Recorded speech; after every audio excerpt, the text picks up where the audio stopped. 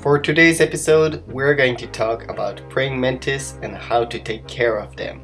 This is my new little pet and I will show you everything you need to know to take good care of them.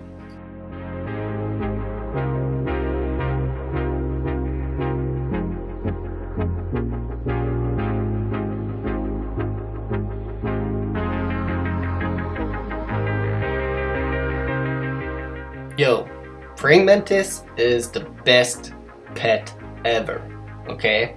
And here's a few reasons why. First of all, it's not like a gecko. It's very active during the day. So that means when you're supposed to be wake up, the praying mantis is also going to be awake and active. Another thing is they don't smell like a mice or uh, uh mice, sorry, or mouse, for example and also you know they they don't need a lot of cleaning um, or care whatsoever. Now mine is a female and in this picture the female is the big one and the male is the small one. And we all know what happened to the male during reproduction. Most of the time the female yes will eat the male. Why? Two reasons. First reason is for the survival of the babies for the female to have a successful pregnancy and laying her eggs uh, successfully, she pretty much just need a lot of meat in her belly. So most of the time, that's the role of the male. The other reason is because if the male isn't satisfying enough for the female and rather slow, she can speed the process of reproduction by, yeah, eating the heads first. Now that's not going to, well that's going to kill the male, but that's not going to stop the reproduction. It's going to speed the process, believe it or not, because of the uh, very interesting nervous system of praying mantis. Now what do you feed your praying mantis, both male or female? Pretty easy.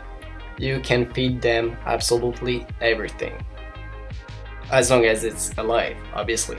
So let's say a grasshopper, yeah. A cricket, yeah. A butterfly, yep. A dragonfly, maybe, if the dragonfly is small and the praying mantis is big. Basically everything that moves is fair game. Now you don't want to give them any uh, ants or wasp because those are one of the few natural nemesis of the praying mantis. But apart from that, you have a lot of uh, pretty cool stuff you can give for them. Um, now, how do they kill their prey? Well, you see those two front legs, this is how they do. They kind of are the care bear of the insect kingdom. But instead of just hugging you and making you happy, they hug you with their legs full of spine, which will stab you to death. And then, if you're still alive, they're going to eat you slowly and but surely.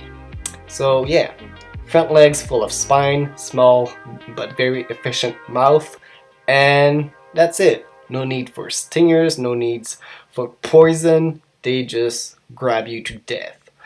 Uh, now for a container, pretty easy. You see this mason jar? That could have been the um, home for a small praying mantis. But for a big one like this one, I do prefer to give them a cage. Now a fishbowl, believe it or not, is also a perfect solution as it is more than enough for a praying mantis. Now for the habitat, um, I would suggest put either a scott towel or a wet tissue on uh, the floor. That way the praying mantis do have access to water uh, without uh, drowning. And for decoration, just put some random stick and leaves in there and that's going to be more than enough for her to feel secure, look natural, and um, pretty much have stuff to climb on because that's what they do. They climb and they stay in the same spot for hours and hours and hours. Now Timmy, you will wonder, can I like put them in my hands? Well yeah, praying mantis are perfect for handling. Now I'm not sure how long mine will survive, uh, simply because it's going to be winter soon and in Canada winter means death for the praying mantis because they just froze there. So maybe mine will survive only a few weeks, maybe a few months, maybe longer than that. But yeah, let's not be surprised if one day she just dies. I mean, I'm making her life be super longer uh, by helping her. And I'm going to provide some uh, mealworm for her uh, main source of food. Now she have helped me do the video, so make sure to subscribe, like, and comment. Also, make sure to look at the video with your eyes open. You see those little spots on the uh, praying mantis arms? Well, those spots are supposed to look like eyes so they can intimidate their predators. Yeah, that's pretty weird. A leaf that tries to intimidate you by popping some eyes. Anyway, that's how the praying mantis do.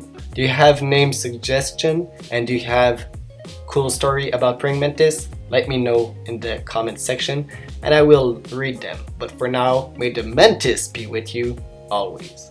Bye!